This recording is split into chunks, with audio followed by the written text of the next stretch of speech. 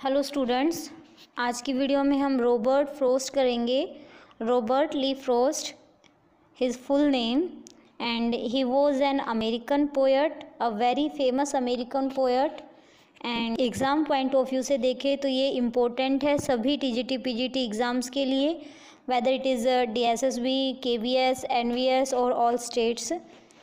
चलिए शुरू करते हैं। Robert Frost was an American poet he was born in San Francisco California on March twenty six eighteen seventy four his father William Prescott Frost इनके पिता का नाम William Prescott Frost है and his mother Isabella Moodie and his mother is was also a poets and she is from Scotland इसलिए उन्होंने Robert frost का नाम Scotland के फेमस राइटर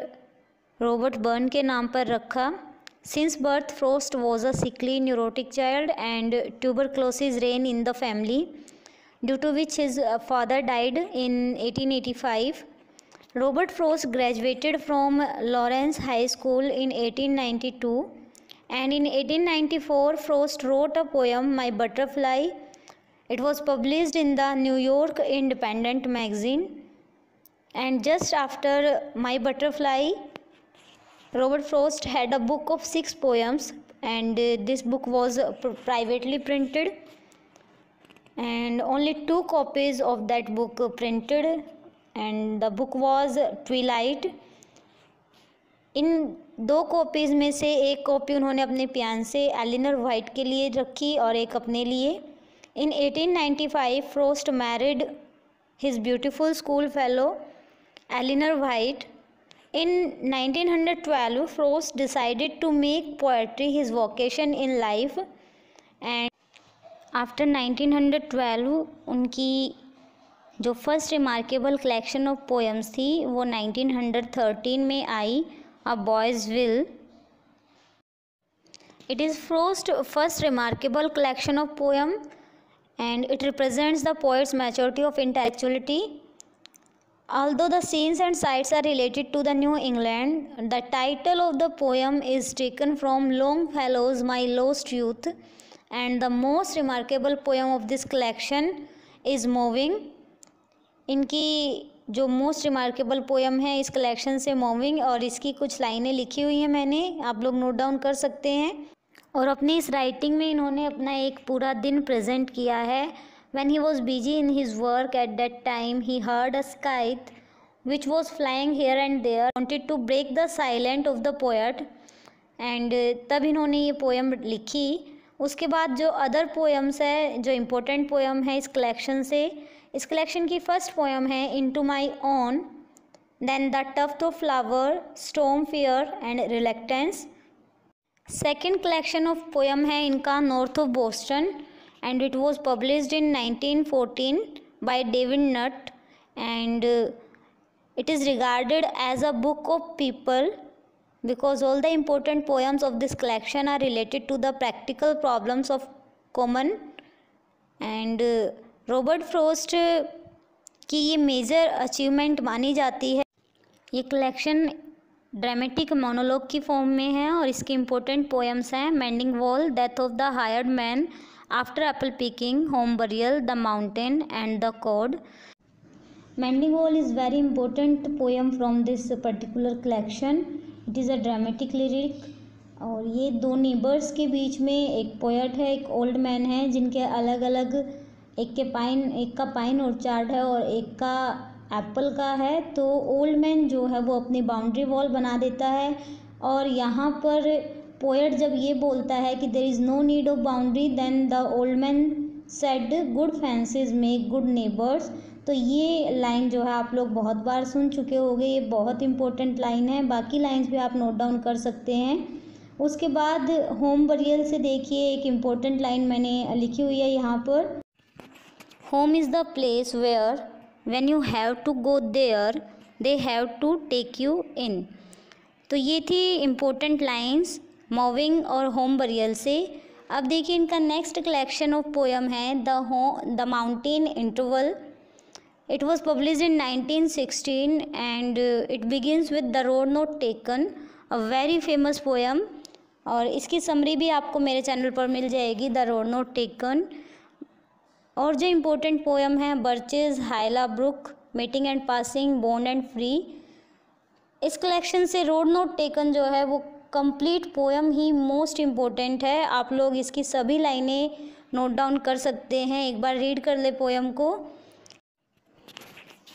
इनका नेक्स्ट कलेक्शन ऑफ़ पोएम है New Hampshire and it was publish in 1923 and in this particular collection, the poet talks about,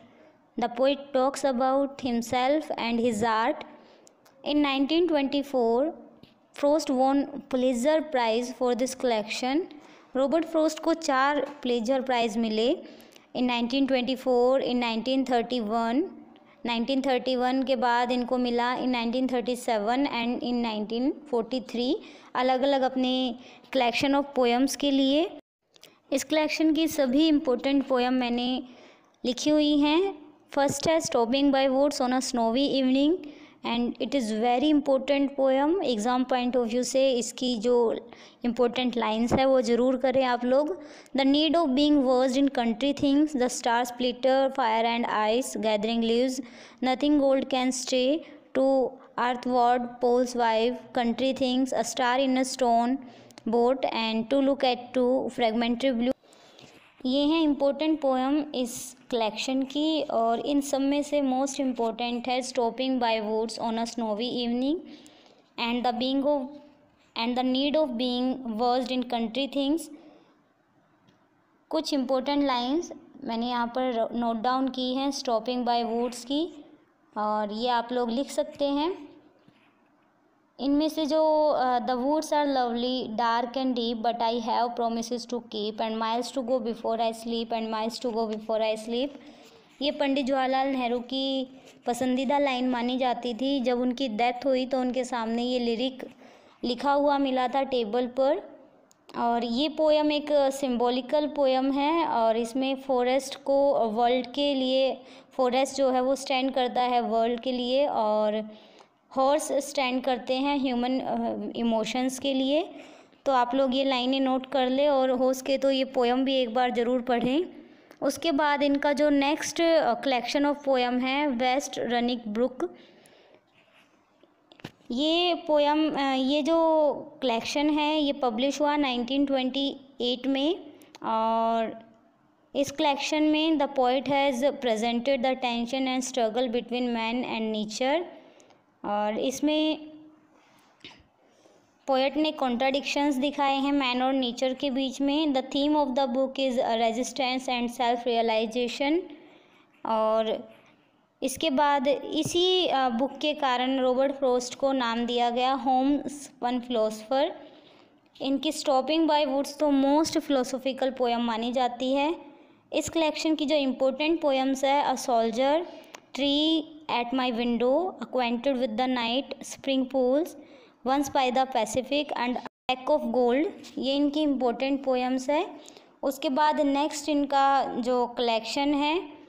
it was a further range 1930 इसकी important poem भी मैंने लिखी हुई है। ये सिक्स पार्ट में इनका कलेक्शन जो है ये सिक्स पार्ट में है। Taken doubly taken singly ten mills the outlands build soil and missive missile and इसकी इम्पोर्टेंट पोएम्स है lost in heaven a blue ribbon at Amesbury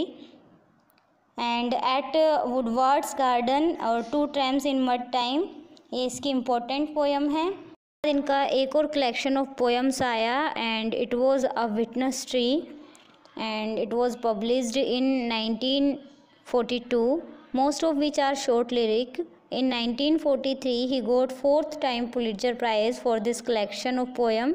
The most important poems in this volume are The Gift Outright uh, and it was a patriotic poem, the most of it. उसके बाद इन्होंने steeple bush एक और collection of poem इनका आया